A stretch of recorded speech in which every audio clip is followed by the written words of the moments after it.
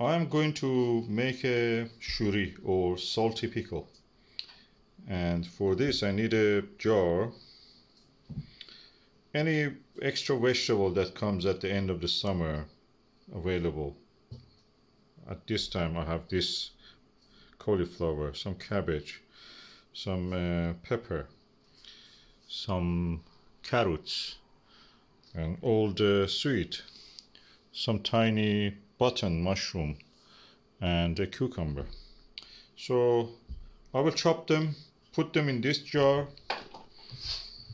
Then I'll fill it up two-thirds with water two uh, one-third with uh, vinegar any vinegar. You don't need to, to think worry about that. Any kind of vinegar. And two spoons of the salt any kind of salt. Doesn't matter what salt. Just salt. I may add a few cloves of garlic if I um, have it or a few uh, tiny uh, onions or shallots or whatever you have. So let's go ahead and chop them and fill it up. I've skinned the carrots and diced them here. Cut it across. Now I'm going to do the same with this, but I will not skin the um, cucumber. Okay, I should have told actually slicing. Yeah, I sliced the cucumber also, sliced also the carrots. Is the juice of carrot. I will wash it if I want. You don't need to put uh, mushroom. I just want to, for the first time to it. I never saw my mom do mushroom because these mushrooms are really new as a food. So I'm just going to, to add this to the mixture here.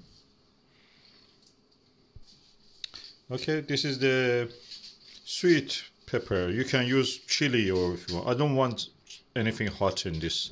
I don't like hot stuff. If you want to suffer, you can use it if you prefer the flavor of them. I don't like the hot, spicy stuff. So I just add this and now we go for a little bit uh, swede. You can use pick. Uh, you don't need to use it. I had this. I just want to use it. This is swede. You can use a turnip. You can use a Jerusalem artichoke if you have it. Anything, anything you can use. Uh, I have this. It was rotting in the thingy in the fridge, so I'm just going to wash it and use it for this purpose. You don't need even to use it if you don't want. Okay, I've uh, removed the skin of the swede with this scraper and I'm now going to cut a few bits of it. I don't want to have too much of this. Okay, this is some of the swede. It's quite actually sharp. The smell of it is almost like turnip. So I'm going to mix a little bit of it so that's been used now. Okay, this is one uh, greyhound cabbage. I just go to chop a little bit of it and just mix it with that. Just as a filler. Yeah, this is the cabbage.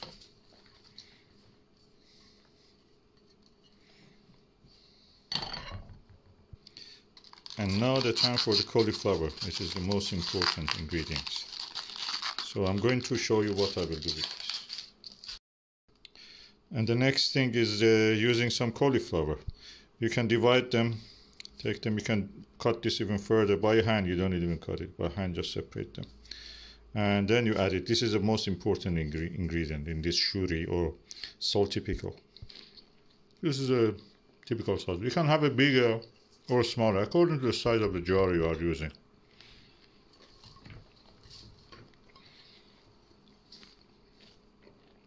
You don't waste much, even the stem of it, which is this, you just can cut it and put it, add it to your ingredients. Okay, now my darling sweetheart wife has now prepared some garlic and uh, little onions. We grow it ourselves also. Yes, so, I did. Yeah, they're tiny, but they are they for flavouring. They'll give the vegetables lots of flavour. Lovely. I'm adding it now here. That's it. Now I'm going to mix them. You can use a spoon for that. I'll just turn them like that by shaking it. I'm telling you, even without being pickled, it's so divine. The smell of it is so fresh. You can eat it right away. Okay, I'm now going to fill up my pickle, my jar. If I run out of space, I, will, I can use any other jar that I have, any size.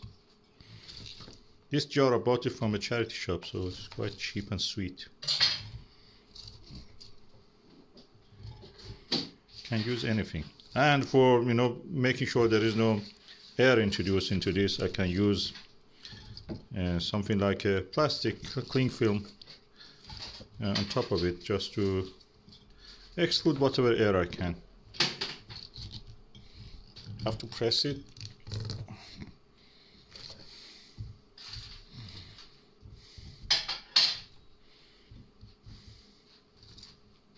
I think I've made a lot more than what I, this jar can take, but not a problem. I'm going to make more jars, but this will be what you will see. I'm adding the next ingredient, which is water and vinegar, and then two spoon of salt. And water will be two third of the bottle, two third, I mean two third of this up to here. Water, then this amount vinegar, any kind of vinegar, and two tablespoons salt. I will add.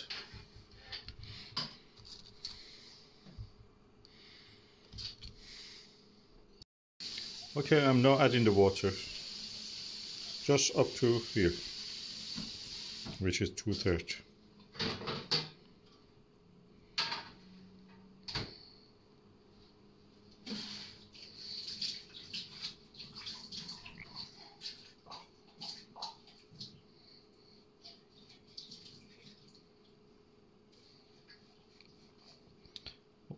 We use water because it just preserves the thing. It fills the gaps so there is no you know pathogen or something that can rot it. And vinegar also will help that. So I have now filled it up up to here. You can see is the line. And now the rest of it will be our uh, vinegar. Okay, darling, I'm now adding my vinegar to this.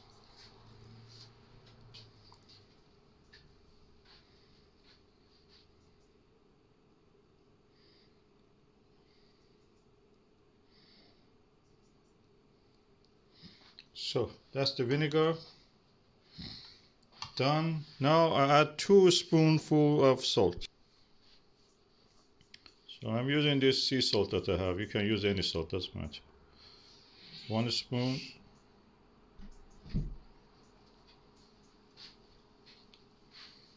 Two spoon. That's it. Now this is a cling film. Um, after even two, three days, that will be ready. Well, you can keep it up to two weeks if you want. Then after that, you start using it. And pack it like that. A little bit too much at the moment, but I will check it. And I can put a label here somewhere, writing what is it and the date. That's it, done. Okay, now it is done. Salty pickle for people who want to live, you know, self-sufficient. It's not for people really who are lazy or, you know, men who live on the on the women and uh, and the kids uh, living in the kind of, you know, like a parasite. This is for people who really want to be self-sufficient. Yeah, it's a little bit dripping because it has too much. Now it is done. Okay, this is our uh, larder and we have kept it here. This is the one I made in 24th, so three days before that, and already you can see the pickles of the, uh, for example, uh, gherkins, cucumbers, almost ready. So this one also stays there until both of them are ready, and we can enjoy them. Okay, I'm not filling up the second batch, but uh, try to mix some uh, coriander seed and some uh, dill with it. Dill nice with the cucumber pickled. So that's what I will add to that end of the video to tell you that you can actually do this also. So if you want you can add any uh, any uh, other things including peppercorn if you have if you don't want chili which are like me you can add peppercorn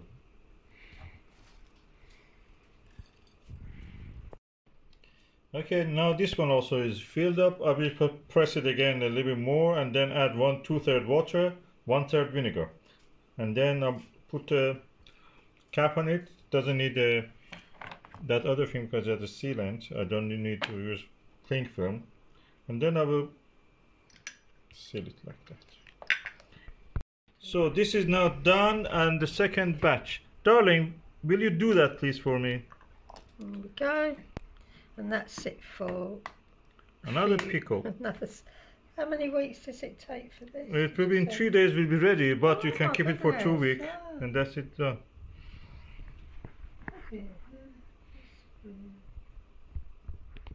And these are not Kilner, they look like Kilner but they're made in China and they're cheaper.